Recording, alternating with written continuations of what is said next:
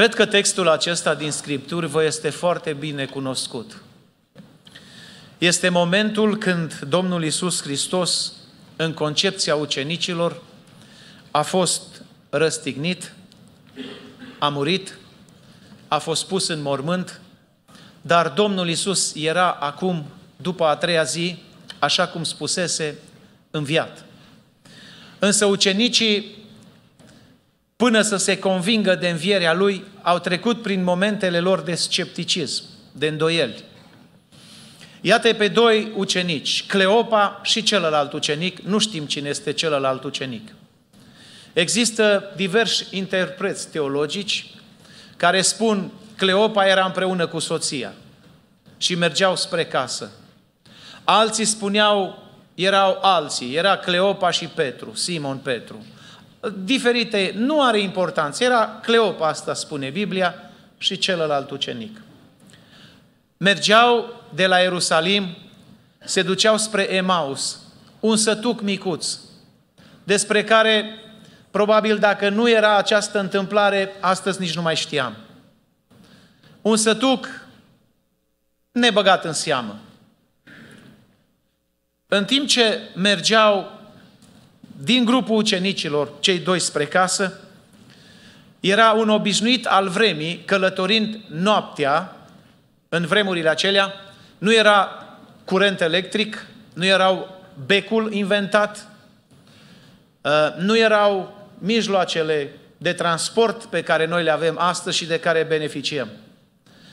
Și era un obișnuit al vremurilor de atunci să te alături de un grup care călătorea noaptea ca să nu fie atacat de hoți. Cei doi erau și călătoreau spre Emaus împreună, cu dezamăgirile lor. În timp ce mergeau, se alătură de ei un străin, pe care ei nu-l cunosc. Ochii lor, după cum spune Biblia, le erau împiedecați să-l cunoască. Și străinul acesta intră în discuție cu ei. Și în timp ce discută cu ei, descriu ei mai târziu starea lăuntrică. Nu ne ardea inima în noi pe drum când ne interpreta Scripturile. Mai târziu ei află că acest străin care călătorea cu ei era însuși Domnul cel înviat și care va produce o transformare în viețile lor. În această zi mi-am intitulat mesajul evanghelic Schimbările care au loc în timpul cinei Domnului. Schimbări. În viața celor doi erau câteva schimbări care s-au produs din momentul discuției cu străinul și până au intrat și după ce au intrat în casă. Dragii mei, știți ce aș dori? Se spun, uh, spun teologii și cercetătorii biblici că drumul dinspre Ierusalim până în Emaus, în mod normal, pe jos, era timp de vreo două ore și jumătate. Cam atâta îți trebuia ca să-l, porți, să-l poți parcurge. Să zicem că Isus s-a întâlnit cu ei undeva, poate la jumătatea drumului. Cât le-a predicat Isus până au ajuns acasă? Dacă ar fi la jumătatea drumului, nu? O oră. O oră le-a predicat și nu s-au plictisit. Pentru că atunci când au ajuns acasă, scrie Biblia că înainte să intre în casă, le-au zis străinului, rămâi cu noi, nu merge mai departe, drumul e periculos. Te pot ataca hoții dacă rămâi singur. Rămâi cu noi, ne place în compania ta, nu știm cine ești, dar felul cum ne vorbești ne place, rămâi cu noi. Știți, mă rog din toată inima astăzi, Domnul Iisus Hristos să rămână cu noi. Eu cred că El este prezent în locul acesta și îl doresc din toată inima să se manifeste El. Aș vrea să vedem ce se schimbă în timpul cinei Domnului.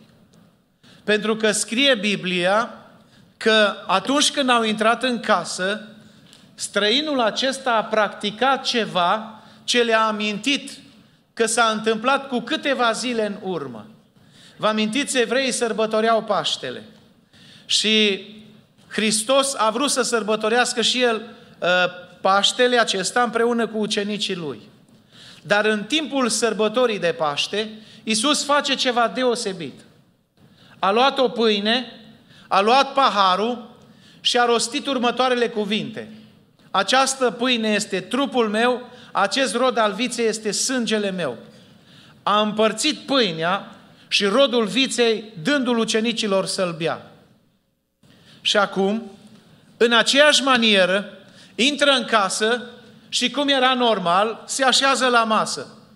Și urmează o cină, un dinner. Se așează la masă și străinul acesta, exact ca și Isus, ia pâinea, o frânge, binecuvintează pe Dumnezeu. Și în momentul acela, scrie Biblia, li se deschid ochii și îl cunosc că este Isus Hristos. Dar el, scrie Biblia, s-a făcut nevăzut, a dispărut. În momentul acela s-au produs niște schimbări în viața lor. Pentru că în timpul cinei Domnului trebuie să se întâmple astfel de schimbări. Și despre asta aș vrea să predic astăzi. Schimbări care au loc la cina Domnului. Ca cina Domnului să fie a Domnului, trebuie în primul rând El să fie prezent la cină. Știți că există și biserici fac cina Domnului și Domnul nu-i prezent? Știți că El nu este prezent chiar dacă sărbătoarea este numită Euharistia?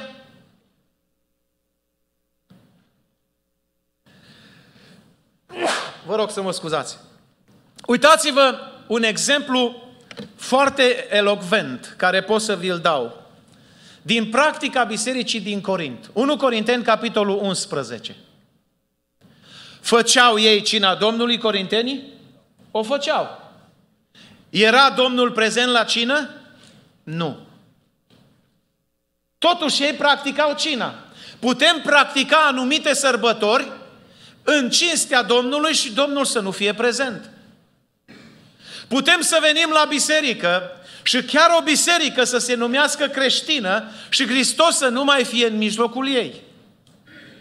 Un creștin poate să poarte numele de creștin, să zică că umblă cu Dumnezeu și totuși Dumnezeu să nu fie cu el.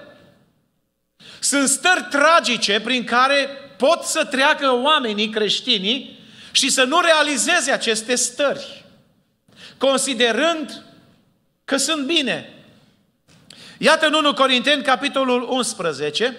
Haideți să deschidem, dacă puteți să-mi și postați, vă rog, 1 Corinteni, capitolul 11, și să vedeți ce se întâmplă acolo, deși ei practicau cina Domnului. Auziți în ce context, în primul rând, practicau cina Domnului și apoi care erau efectele lipsei prezenței lui Isus de la cină. Mai întâi, spune Pavel, 1 Corinteni 11 cu 18, aud că atunci când veniți la adunare, între voi sunt dezbinări. Mergeau la adunare, dar o biserică dezbinată. O biserică care avea grupe și grupulețe. O biserică care nu era unită. Unii erau împotriva altora. Când vă adunați, dar în același loc, că trebuie să fie și partide între voi, ca să iasă la lumină ce-i găsiți bun. Lucrul acesta, când îl spune Pavel, nu îl spune ca o îngăduință creștină, că e bine să fie partide, fraților. Nu! Ci el din tot răul acesta spune, în alte cuvinte, știți ce se întâmplă când sunt partide? Când sunt partide, ies la interval cei buni, adică cei care nu se amestecă. Cei care nu vor să facă parte din aceste partide. Și asta e un lucru rău, nu e un lucru bun. Să fie partide. Când vă adunați, dar în același loc, nu este cu putință să mâncați cina Domnului. Păi dacă sunt partide între voi, dacă nu există unitate în biserică, dacă te-ai certat cu soția, te-ai certat cu soțul, te-ai certat cu copiii, dacă tu ești în litigi cu cineva, dacă ai făcut ceva ce nu îți păstrează unitatea dintre tine și semenul tău, și mai ales cu Dumnezeu, tu faci cina Domnului, dar Domnul nu-i prezent.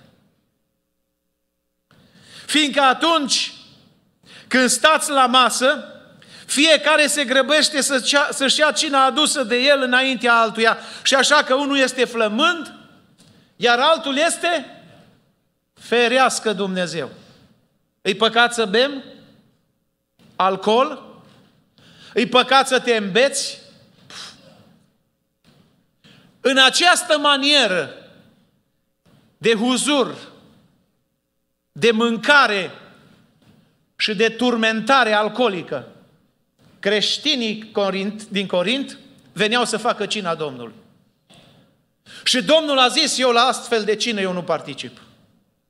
Eu nu pot să accept astfel de cină. Pavele, spune-le clar. Și apoi continuă în versetul 23, ce am primit de la Domnul ce v-am învățat. Asta nu este gândirea mea. Asta nu-i părerea mea, ca și atunci când vă vorbesc despre căsătorie, despre divorț sau despre alte lucruri, unde pot să-mi spun părerea mea, spune Pavel, și cred că am și eu Duhul lui Hristos. Aici am primit direct de la Domnul ce vă spun. Un creștin care trăiește în dezbinare, o biserică care are dezbinare în sânul ei, o biserică care nu are practici și principii sfinte, ci le încalcă și trăiesc după propriile principii. Vin oricum, vin bine mâncați, că nu mai pot, îmbuibați, vin beți, vin certați, vin în stări de genul acesta, fac cina Domnului să o facă, dar eu nu sunt prezent la cină. Și atunci ce poate fi mai tragic să faci cina Domnului și El să nu fie prezent? Iată efectele faptului că Isus nu-i prezent la cină. De aceea spune, sunt între voi mulți neputincioși și bolnavi, versetul 30, și nu puțin dor. Cum adică iei cina Domnului și atunci când iei cina Domnului, unii zic, ascultați mai nou, dintre evanghelici, și aș vrea să-și corecteze această gândire deformată teologic. Că cina Domnului nu are efect asupra omului. Că cina Domnului numai așa o amintire despre Domnul. Da, pentru cei care practică o moralitate ieftină. Un fel de glumă spirituală. Cred că Dumnezeu e o glumă. Cu El poți să glumești. Las că e bun, Domnul. Las că înțelege Domnul. Dar nu uita că e și foc mistuitor. Dumnezeu e bun, da. Dar e și drept. Cina Domnului are efecte. Dacă nu o faci cum trebuie și dacă Domnul Isus nu este prezent în timpul cinei, iată ce se întâmplă. Zice, acolo câteva verdicte finale. Își mănâncă și își bea o sânda lui însuși, dacă nu face diferența între masa Domnului și masa dracilor. Între paharul Domnului și paharul dracilor. Nu poți fi și cu lumea și cu Dumnezeu. Nu poți trăi șase zile, de luni până sâmbătă, să faci ce face lumea și duminica să vii să iei cina Domnului, pentru că Domnul Isus nu se mai prezintă la cină.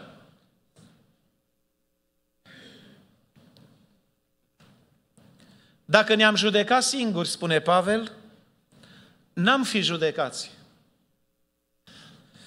Dar când suntem judecați, suntem pedepsiți de Domnul.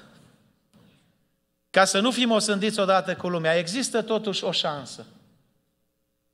Pentru creștinii care fac cina Domnului și Domnul nu-i prezent. Șansa este că au ocazia să se judece fiecare pe sine azi și acum, până nu ajung la judecata finală a lui Dumnezeu. Când vor fi judecați, condamnați iremediabil. Iată să ne uităm puțin la textul acesta. Există câteva cerințe pentru care Domnul Isus le cere creștinilor atunci când fac cina Domnului. Și aș vrea doar pe scurt să prezint câteva cerințe. În primul rând, vedem că atunci când Domnul Isus a vrut să mănânce uh, să facă cina cu ucenicii lui, a avut un loc special pregătit. Nu oriunde a făcut cina. N-a făcut-o în orice loc. Uitați-vă în Marcu 14, 12 la 15. Învățătorule, unde vrei să-ți pregătim să mănânci Paștele? Și Iisus le-a zis, duceți-vă în localitatea cu tare. Acolo veți întâlni un om care duce un ulcior cu apă. Așa, așa, așa, să-i spuneți omului acelea, unde este odaia pregătită pentru mine și ucenici ca să îmi pregătesc să mănânc Paștele împreună cu ei. Cina Domnului este un moment și un loc special pregătit. Astăzi ne-am pregătit pentru asta. Și locul cel mai bun, cel mai sigur de a lua cina Domnului este în Biserica lui Dumnezeu, în locul acesta pregătit. Nu oriunde. Las că pot lua cina Domnului oriunde. Nu oriunde. Un loc special pregătit.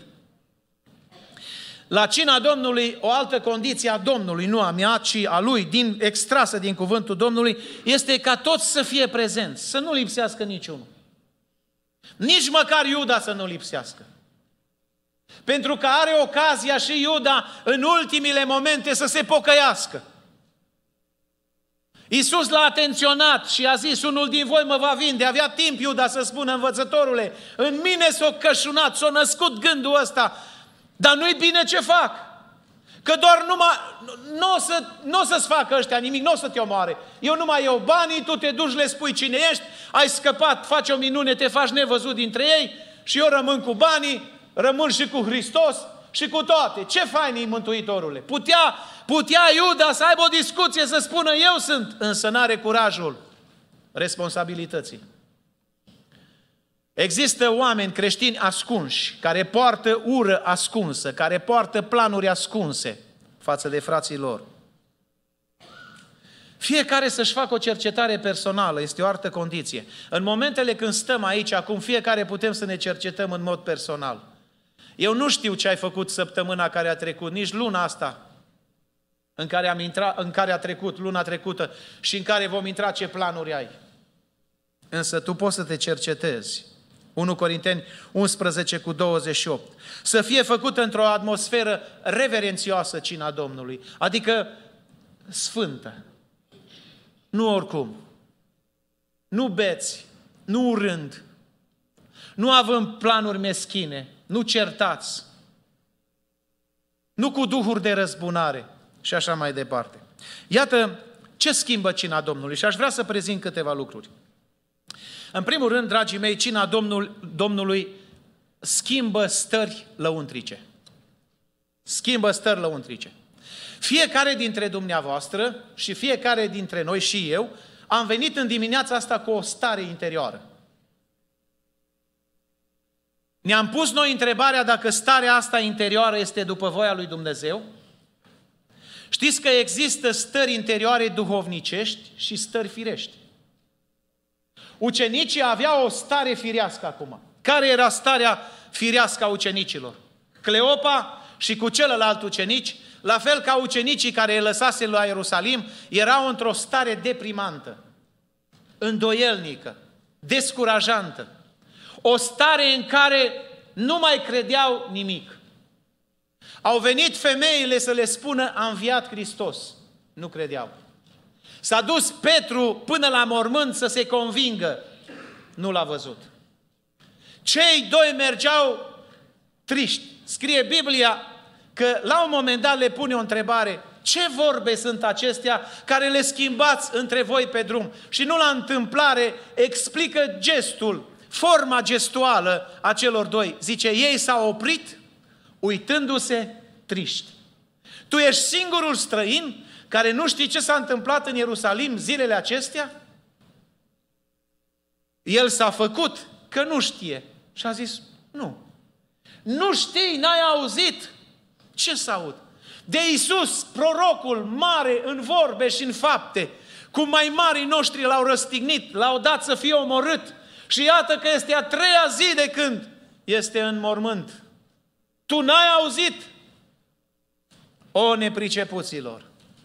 Și zăbavni. O, iată care este starea lor, o stare tristă. Știi, stările acestea firești, când ajung să anihileze stările noastre duhovnicești, intrăm în niște stări care nu sunt după voia lui Dumnezeu. Și stările acestea care nu sunt după voia lui Dumnezeu ne depărtează de Dumnezeu. Ne aduc în scepticism, în îndoieli, în necredințe. Până acolo încât nu mai știm ce să mai credem. Am auzit zilele acestea o veste tristă. Un slujitor care altădată predica Evanghelia cu elan. Un slujitor care altădată spunea altora despre Dumnezeu. A trecut printr-o traumă a familiei, soția l-a părăsit. Și el a ajuns până acolo în niște stări atât de deplorabile, atât de josnice, încât chiar să pună la îndoială existența lui Dumnezeu. Cât de trist poate să fie lucrul acesta. Aceste stări în care suntem aruncați, datorită situațiilor externe din viață, dacă le lăsăm să anihileze starea noastră spirituală, ne transformă în niște stări firești, deplorabile. Știți, împărăția lui Dumnezeu, spunea Domnul Isus, și apoi mai târziu o descrie uh, Romani, capitolul 14, versetul 17, cum pot eu să știu că împărăția lui Dumnezeu a intrat în mine? De unde să știu eu că împărăția lui Dumnezeu trăiește în mine? Iisus a spus, împărăția lui Dumnezeu a și venit peste voi. Că ei ziceau, când, Doamne, va veni împărăția Ta? Cândva la sfârșitul viacurilor, când va fi asta? Și Iisus le-a spus, împărăția lui Dumnezeu a și venit peste voi. Și care sunt efectele împărăției lui Dumnezeu? Că ea deja trăiește în mine. Nu numai că va veni, spunea C.H. Dodd, unul din teologi, că împărăția lui Dumnezeu este un fel de tensiune între deja și nu încă. Adică deja s-a întâmplat ceva în viața mea și încă n-a început ca să fim în împărăția cerească, să vedem străzile de aur, ă, porțile de mărgăritar și așa mai departe. Cum știu eu că împărăția lui Dumnezeu e în mine? Simplu, dragul meu. Prin starea interioară care o ai. Iată ce spune Pavel la Romani 14 cu 17. Ne, deci spune așa, căci împărăția lui Dumnezeu nu este mâncare și băutură, ci ascultați, neprihănire, pace și bucurie în Duhul Sfânt. Sunt trei stări determinante. Dacă aceste trei stări le ai în tine, neprihănire, adică sfințire, dorință de sfințire, pace, pace lăuntrică și bucurie, care nu vine de la faptul că ți contul plin, care nu vine de la faptul că toată familia ți-e aranjată, copiii căsătoriți, am n-ai nicio treabă, poți să te pensionezi, poți să mergi numai în vacanțe, că gata, asta e bucuria. Asta e o bucurie firească. E ok să fie și asta, o împlinire până la urmă firească, nu? Că toți ne dorim să ne fie copii bine aranjați. Noi să fim sănătoși și bine aranjați. Nimeni nu-și dorește să fie rău. Eu îmi doresc asta. Dacă nu vă doriți, cum doriți dumneavoastră. Eu îmi doresc asta. Dar nu asta trebuie să influențeze starea mea interioară. Dacă un copil mi se îmbolnăvește. Dacă banii din cont mi se gata. Dacă lucrurile din jur nu le mai am, mi se schimbă starea. Și dacă mi se schimbă starea, ori n-am avut niciodată o stare duhovnicească, ori am avut-o cândva și m-a părăsit. Pacea, neprihănirea și bucuria sunt stări sufletești pe care ni le dorește Dumnezeu să le avem. Asta au pierdut ucenicii.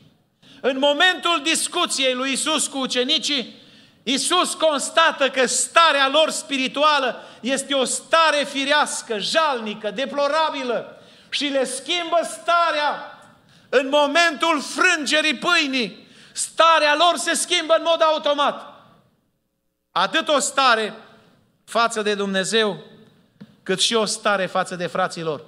Păi gândiți-vă, seara se întorceau acasă, erau obosiți, mai aveau ei chef de ceva? Nu. Dar în momentul frângerii pâinii, deschiderii ochilor lor, starea lor se schimbă. Scrie Biblia că s-au sculat chiar în ceasul acela și s-au întors la Ierusalim între frați. Li s-a schimbat starea și față de frați și față de Dumnezeu. Știi? Iată câteva stări firești despre care Apostolul Pavel în Efeseni 4 cu 31 ne spune. Ascultați bine! Orice amărăciune, o stare de amărăciune, îl vezi pe unul că tot timpul e trist. Cum o zis cineva, zici că i-am botezat în oțet. Așa sunt toți de triști. Orice stare de amărăciune, orice iuțială, orice mânie, orice strigare, orice bârfă și orice fel de răutate să piară din mijlocul vostru. Astfel de stări nu sunt după voia lui Dumnezeu. Nu sunt astfel de stări după voia lui Dumnezeu. Când ne-am întors la Dumnezeu, Dumnezeu ne-a pus într-o stare după voia Lui.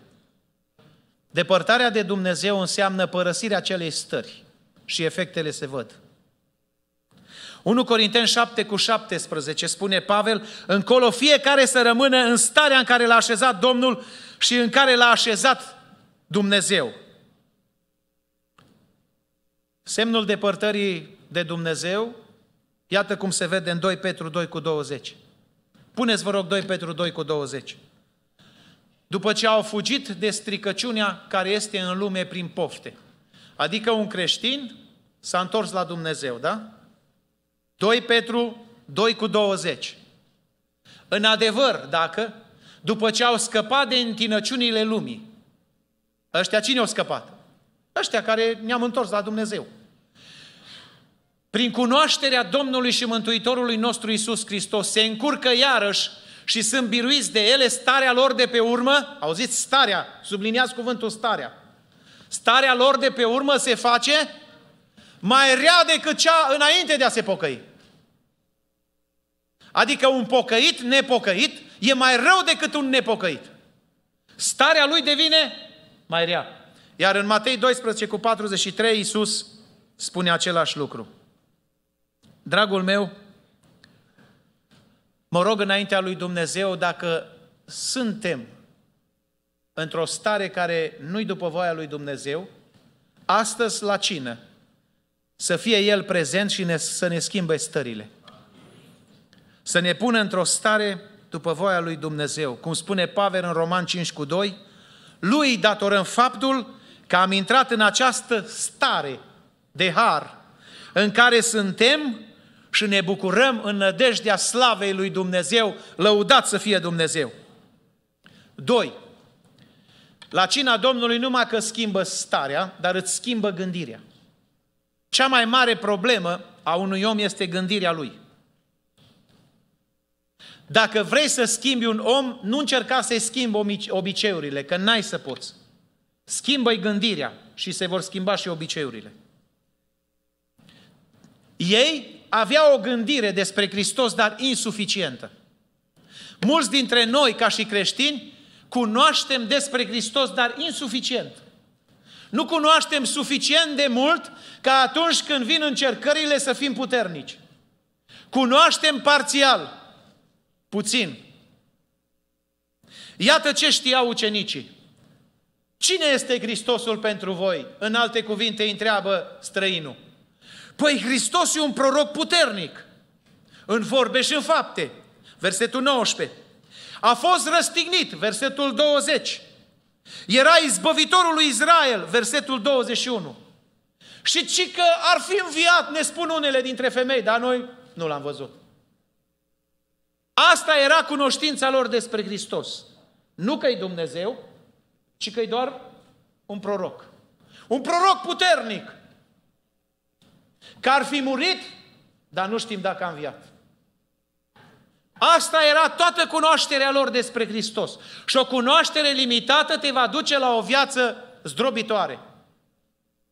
La o gândire trunchiată. N-ai să faci niciodată legământ cu Domnul dacă n-ai cunoștințe mari despre El. Dacă nu-L rogi pe El să-ți descopere și să-ți schimbe gândurile.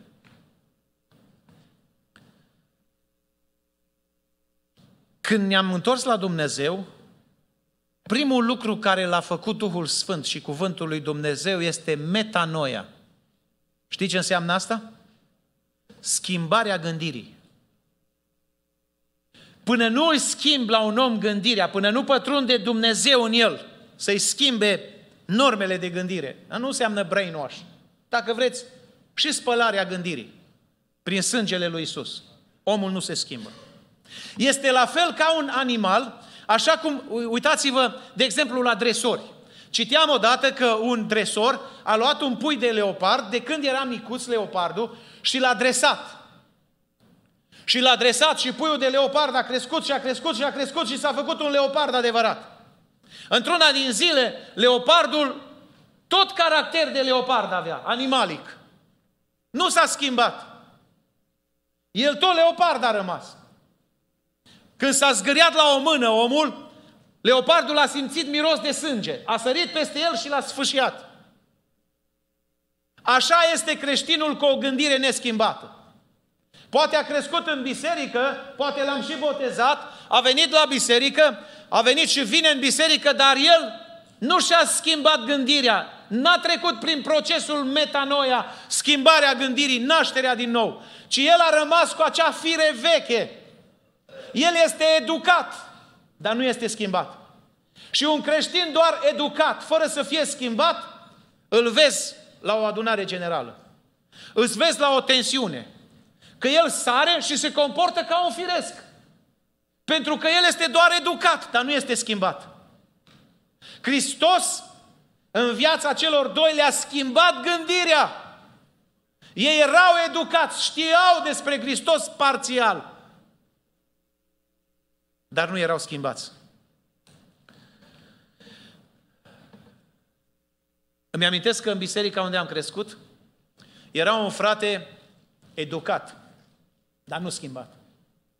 Avea probleme cu toate miresele care veneau să se căsătorească. Pe vremea aceea, miresele nu aveau voie să porte o coroniță. Ci li se cerea să porte un batic. Arătau așa ca pe vremuri uh, lăptăresele alea, știi, care le... La fiecare, la fiecare nuntă comenta și comenta și comenta. Și frații nu prea aveau ce să facă, că nu vreau să strici ziua anunții. Veneau până la biserică miresele cu coroniță, în fața bisericii își dădea jos coronița, își lua năframa, baticul ăla alb, ce era, intra cu baticul ăla alb, se făcea nunta, apoi asta nu înseamnă că pot să vină fetele, miresele oricum îmbrăcate și mai mult când le vezi, mai mult îți dezbrăcate decât îmbrăcate. Nu la asta fac referință, ci la următorul aspect, la, la acest om vă rog să vă gândiți. A venit ziua când fica lui s-a căsătorit. Și s-a dus fică sa la taică și a spus așa, fii atent aici. Mulțumesc că mai crescut, ești tata, ești așa, dar de mă faci de rușine în ziua anunții, în veci nu te iert. Eu intru cu coroniță în biserică, ai înțeles? Ceea ce n-a putut face un păstor, n-a putut face un comitet, o făcut fică sa. O intrat cu coroniță în biserică să-l fi văzut pe el. N-aș fi vrut să fiu în pielea lui. Dragii mei, schimbările în viața unui om nu le fac regulile doar. Sunt bune regulile. Dar dacă schimbarea nu începe din inima ta, din viața ta, degeaba îți predic eu. Că poți să mă judeci, poți să mă urești, poți să spui că sunt doctrinat, poți să spui că sunt gust, poți să spui orice. Schimbarea trebuie să înceapă din inimă și ea se vede în exterior. Schimbarea gândirii. Mă rog în această zi, orice gând să-l faci rob ascultării de Hristos. În al treilea rând, la cina Domnului se schimbă atitudinea. Știi ce mult contează atitudinea? Atitudinile noastre creează momente de a-i apropia sau de a-i depărta pe oameni de noi. Prin atitudinea care eu o am, îl fac pe un frate să se apropie de mine sau îl îndepărtez. Dacă am o atitudine recalcitrantă, una zgrunțuroasă, una de respingere, nimeni nu se va apropia de mine. Și atunci mă pot plânge de toți. Nimeni nu vrea să fie prieten cu mine. Toți stau departe de mine, frate. Păi da, schimbă-ți atitudinea. Dacă tu îți vei schimba atitudinea, toți se vor apropia de tine. Dacă tu ai o atitudine de genul, cum am menționat-o mai sus, nimeni nu se va apropia de tine. Cei doi la masă își schimbă atitudinea față de străini. De fapt, când ajung în fața casei. La început au o atitudine față de străini, așa un fel de gardă pusă. Apoi, în timp ce discută străinul și le explică scripturile, încep să-și schimbe atitudine. Ajung în fața casei cu o atitudine schimbată, iar la masă li se schimbă atitudinea complet. Ce mult contează atitudinea care o ai față de părinți. Cu ce atitudine ai față de biserică. Nu poți să ai o atitudine indiferentă, să nu-ți pese de ce face biserica și se întâmplă în biserica lui Dumnezeu. O atitudine indiferentă îți va aduce dezamăgiri. Auziți, versetul 28, cum le testează Domnul atitudinea. Zice că El s-a făcut că vrea să meargă mai, mai departe. A zis, noapte bună, Domnul să fie cu voi și El s-a făcut că vrea să meargă mai departe. Iar ei, ca să le testeze atitudinea, mă, mă lasă să plec sau mă cheamă cu ei la părtășie. Iar ei, rămâi cu noi. Insistent, rămâi cu noi că ce este spre seară. Noaptea a venit, aproape a venit, rămâi cu noi. Și la o astfel de atitudine, Dumnezeu intră în casa ta. Care e atitudinea ta față de Domnul și față de cuvântul Lui? Auzi ce spune Jeff Keller, orator și scriitor motiva- motivațional. Spune așa, atitudinea este filtru mental prin care percep lumea împărțind astfel oamenii în două categorii, optimiști și pesimiști. Știți cum explică el lucrul acesta? Spune că un uh, profesor de psihologie a adus în fața elevilor lui un pahar cu apă. Jumătate era cu apă. S-a uitat la acel pahar, studenții și profesorul a zis, ce vedeți în acest pahar? Cei optimiști au spus, jumătate e plin. Cei pesimiști au spus, jumătate e gol. Contează cum privești lucrurile. Contează ce atitudine ai. James Coburn spune așa, devii campion dacă mai lupți încă o rundă. Dacă nu lași ca pesimismul să-ți distrugă optimismul. Știți de ce majoritatea oamenilor, poate să nu zic sunt săraci, că nu toți trebuie să fie bogați, dar sunt invidioși, sunt recalcitranți și respingători? Pentru că majoritatea sunt pesimiști. Majoritatea spun, oh, noi nu putem, noi nu avem, noi suntem săraci, frate, noi nu putem, na, acolo sunt mulți, acolo au bani, acolo pot, dar noi nu putem. Și pesimismul ăsta omoară.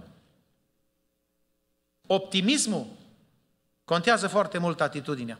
Spunea Jeff Keller, tot el spunea, fiecare din noi luminează o cameră, unii atunci când intră, alții atunci când pleacă. Alege ce vrei să fii. Și în al patrulea rând, schimbarea perspectivei de înțelegerea Scripturii. La cina Domnului se întâmplă asta. Auziți cum explică ei după ce nu mai e Iisus între ei? Nu ne ardea inima în noi când ne interpreta Scripturile? Mulți azi nu înțeleg Scripturile așa cum vrea Hristos, ci cum vor anumiți teologi și prin urmare rezultatele sunt pe măsură. Care este perspectiva noastră ca și creștini? Dacă avem o înțelegere corectă a Scripturilor, vom avea și o perspectivă corectă. Dar dacă nu avem o înțelegere corectă a Scripturilor, nicio perspectivă corectă nu avem. Luca 18 cu 28 au venit ucenicii la Isus și au zis așa, Petru mai curajos, Iată că noi am lăsat totul și te-am urmat. Ce perspective avem? Ce răsplată vom avea? Ce ne dai?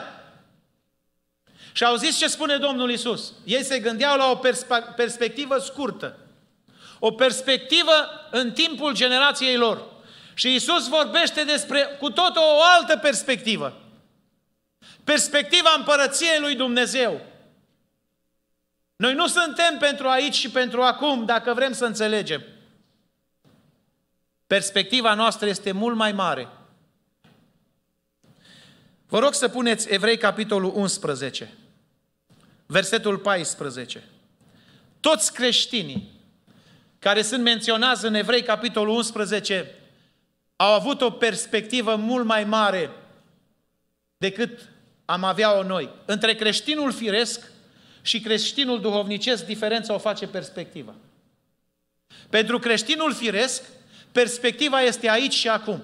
Cum spune Pavel, dacă 1 Corinteni 15 cu 19, lăsați ăsta aici, spune, dacă numai pentru viața asta ne-am pus nădejdea în Dumnezeu, suntem cei mai nenorociți dintre oameni. Ce înseamnă asta?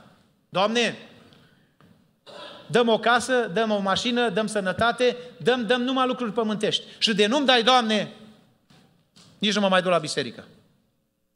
Asta e o perspectivă firească, de scurt metraj. Perspectiva duhovnicească este total diferită. Doamne, și de nu-mi dai. Eu știu că nu sunt pentru aici și pentru acum. Tu ai pregătit pentru mine o împărăție, o veșnicie. Eu acolo tind, acolo-i ținta mea, acolo-i perspectiva mea. 1 Corinteni 11 cu 14. Cei ce vorbesc în felul acesta arată dezlușit că ei au o altă perspectivă. Sunt în căutarea unei patrii. Și acolo în 1 Corinteni 11, dacă veți citi tot capitolul acasă, veți vedea ce au suferit oamenii ăștia. Dacă aveau o perspectivă pământească, niciodată n-ar fi murit. Au fost tăiați în două cu fierăstrău. Au murit prin crepăturile pământului. Tăiați cu fierăstrău. Chinuiți în toate felurile de cei din vremea lor. Dar perspectiva lor nu era pământul ci perspectiva lor era împărăția lui Dumnezeu. Celor doi li s-a schimbat perspectiva. S-au întors în Ierusalim și le-au spus celor care erau acolo, am viat Domnul cu adevărat. Noi l-am văzut, am stat la masă cu El. Avem o altă perspectivă. Ieșiți din lamentația asta, din starea asta letargică. Haideți să spunem tuturor în Ierusalim că am viat Domnul cu adevărat. Li s-a schimbat perspectiva. Mă rog în această zi la cina Domnului, să ni se schimbe starea spirituală, dacă nu-i după voia lui Dumnezeu. Să ni se schimbe gândirea, dacă nu-i după voia lui Dumnezeu. Să ni se schimbe atitudinile, dacă nu-s după voia lui Dumnezeu. Și să ni se schimbe perspectiva, dacă e una firească, să ne dea Dumnezeu una duhovnicească.